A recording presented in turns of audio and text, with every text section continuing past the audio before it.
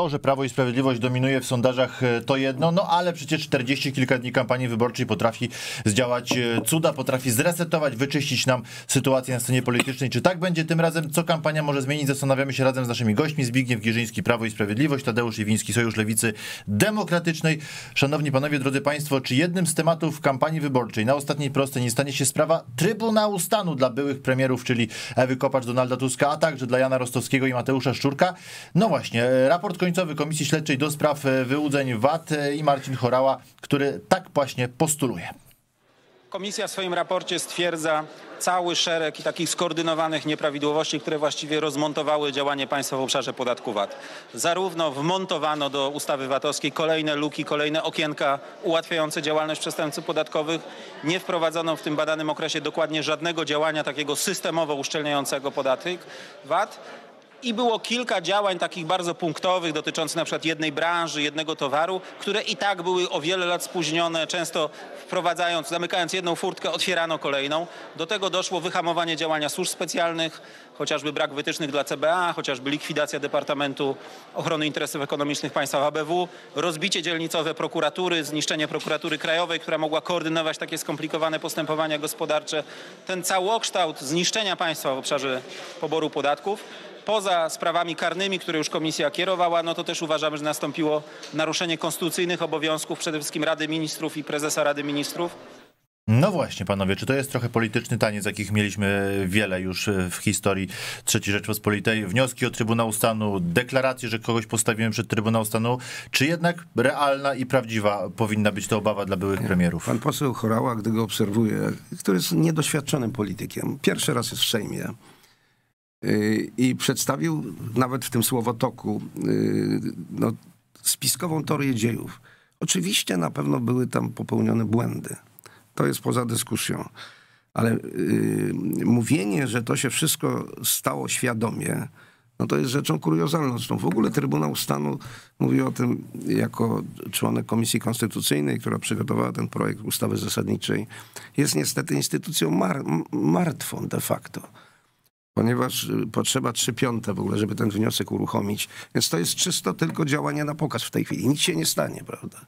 Nic się nie Czysty stanie. kampanijny grill, pana zdaniem? Y, nie, no nie moim zdaniem, no bo nie dojdzie do żadnego głosowania, ani w tej kadencji, ani później. Wszystko trzeba będzie od nowa i to jest próba przykrycia jednak afer, które się działy. No jak to jest wspomniane, że jest naruszana konstytucja, no to przepraszam, ale to konstytucję Zbigniew Ziobro i prezydent Duda naruszał y, wielokrotnie, w sposób oczywisty. No, że przypomnę na przykład, że podważano y, długość kadencji y, pierwszego prezesa, pierwszej prezes w tym przypadku, pani profesor Gersdorf a konstytucja jasno mówi, prawda, ile ta... A będzie miała pana zna, zdaniem znaczenie ta historia z Chorałą, z komisją śledczą, z ewentualnym wnioskiem o Trybunał Stanu w kampanii wyborczej? Nie sądzę, nie sądzę, dlatego że to zostało, jak widać, wprowadzone w ostatniej chwili, żeby przykryć y, sprawę y, no, tych innych afer, które się namnożyły, zwłaszcza tego, co się dzieje w wymiarze sprawiedliwości.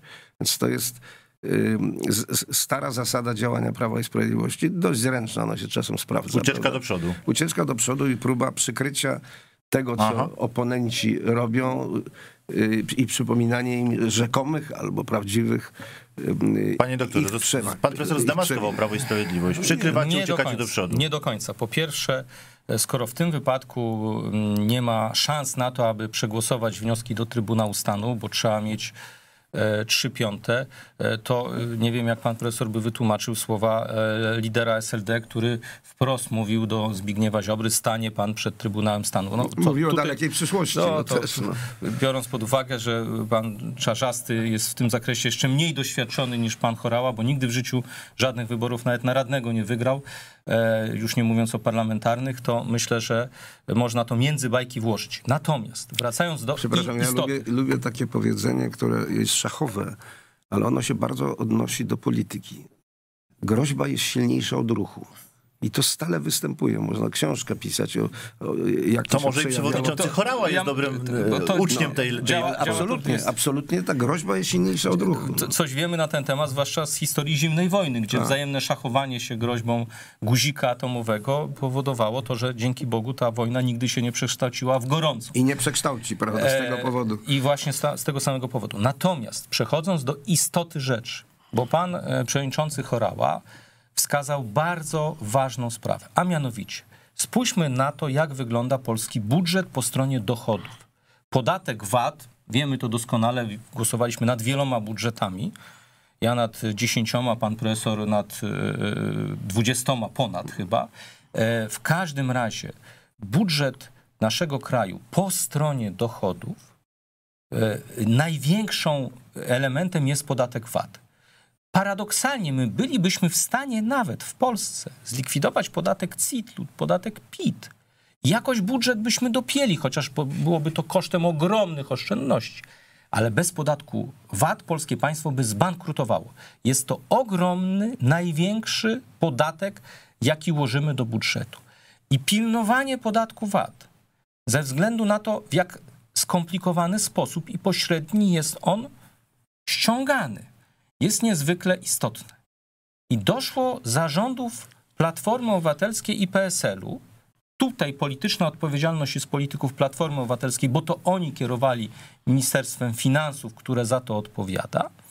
E, Doszło do tego, że ten podatek zaczął być zbierany w sposób strasznie bałaganiarski. Panie doktorze, ale nawet jeśli to prawda, nawet jeśli przyjąć, że pana teza wyjściowa jest prawdziwa, no to przecież zapłacili cenę oddając władzę, przegrywając wybory. Czy wniosek o Trybunał Stanu nie jest trochę takim To politycznym prawda, wniosek, to prawda, Polacy politycznie rozliczyli tę formację, ale jest także odpowiedzialność konstytucyjna, nie tylko polityczna, konstytucyjna.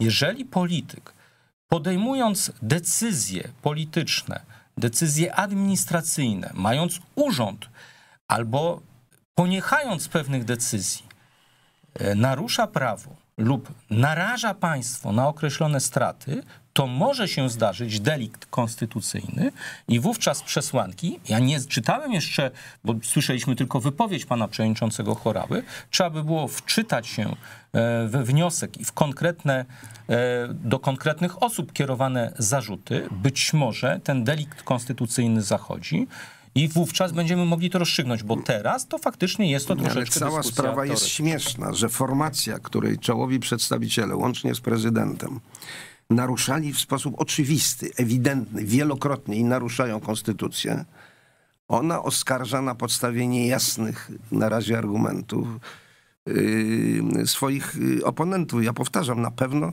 jeżeli chodzi o ściąganie VAT-u, były popełniane błędy. Trudno jest w tej chwili Ale nie zasługujące na Trybunał Stanu, czy na komisję śledczą, jak rozumiem. Tak, i to jest no, wyraźnie taki gest, próba yy, tego, co się po francusku No dobrze, na- nazywa coup de grâce taki, prawda? No. No to panie profesorze, Cios. jeśli, jeśli nie sprawa mm, wyłudzeń VAT, e, jeśli nie sprawa wniosku Trybunału Stanu, to jakie kwestie mogą być dominujące na, tych, na tej ostatniej, może przedostatniej prostej kampanijnej, by coś się mogło zmienić i w sondażach, no a później przy wyborach, by Prawo i Sprawiedliwość, no jeśli nie miało nie wygrać tych wyborów, to przynajmniej nie wygrać w takim stosunku, by rządziło samodzielnie. No to w grę, w- w grę wchodzi kilka elementów. No według wszystkich badań i danych najważniejszym yy, elementem, który ludzi najbardziej interesuje, to jest sytuacja w służbie zdrowia, prawda? To jest sytuacja w służbie zdrowia. Później także sytuacja w yy, dziedzinie yy, edukacji. Jednak dopiero teraz znów będziemy obserwowali nową fazę yy, tej fatalnej yy, rewolucji, którą yy, decyzje pani minister Zaleskiej spowodowały. To się teraz będzie odbywać, prawda? Dopiero zobaczymy, czy będzie strajk nauczycieli, czy nie. Czyli nie wielkie polityczne historie, ale małe, konkretne, codzienne Mamy konkretne, sprawy. prawda, no, czy jak rodzice będą na przykład patrzyli na to, czy ich dzieci y, mogą normalnie y, uczyć się, w sensie ile osób jest w klasie, o której się chodzi na zajęcia i tak dalej. Więc tego typu kwestie. Również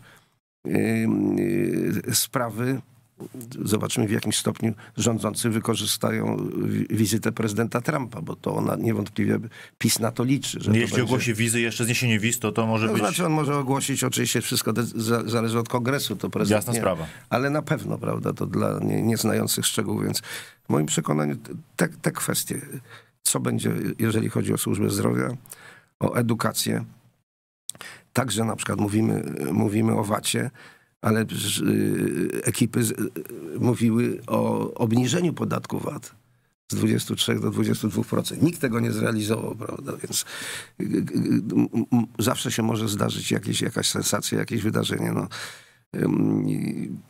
Lewica w moim przekonaniu ma ten atut, że rzeczywiście nie po raz pierwszy, bo ona się jednoczyła kilka razy, ale po raz pierwszy w takim stopniu idzie razem i ma szansę y, no, uzyskać, trudno powiedzieć, sondaże są od dzie- 9 do 13%, no w każdym razie trwałą, y, y, trwałą pozycję i może być języczkiem uwagi w przyszłości. Panie doktorze? Lewica e, z całą pewnością ma faktycznie szansę, żeby tym razem próg wyborczy e, przekroczyć, bo zabezpieczyła się tym, że nie idzie w koalicji, tylko jako e, jednolite ugrupowanie, więc ten pro- 5% próg z całą pewnością przekroczy. Myślę, że i 8, no ale dla bezpieczeństwa ale, tak no, trzeba było zrobić. Już ostatnio był to 8 miało być przekroczone i skończyło się tak, jak się skończyło, ale teraz z całą pewnością 5% to nie jest bariera nie do przekroczenia. Natomiast to jest e, interesujące dla e, ważnej, cenionej także przeze mnie, ale jednak niewielkiej grupy Polaków, którym wartości klasyczne lewicowe są bliskie.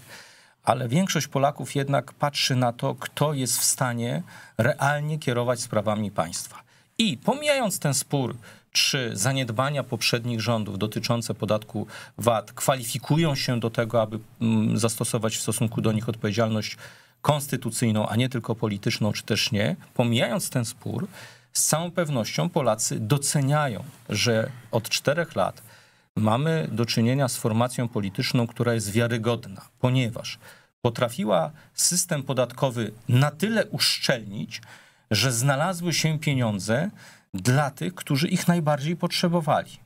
E, Przez ostatnie cztery lata dzieci, które często e, nie mogły wyjechać na wakacje, bo rodziców nie było na to stać, na te wakacje rok, dwa, trzy lata A temu, nie czy obawia się pan doktor, pojechały. że w związku z tym, o czym pan mówi, rosną też e, no, aspiracje e, i, i oczekiwania wobec władzy, że jak już z tych wakacji wrócą i nie daj Boże zachorują jesienią czy zimą, to jednak, że i w służbie zdrowia i w szkole sytuacja będzie wyprostowana i, czysta? I tutaj pan redaktor naprowadził mnie w, dokładnie w to miejsce, do którego zmierzałem, a mianowicie to, co w moim odczuciu będzie istotą nadchodzącej kampanii, czy toczącej się już kampanii wyborczej, będzie odpowiedź, jaką my, jako osoby, które kandydują w wyborach, e, też kandyduję z listy Prawa i Sprawiedliwości w Toruniu, e, odpowiedzą Polakom e, na ich rosnące aspiracje bo e, udało się w dużej mierze, bo pewnie są gdzieś jeszcze momenty, gdzie mamy do czynienia z biedą, ale udało się zlikwidować te najbardziej palące potrzeby dotyczące biedy.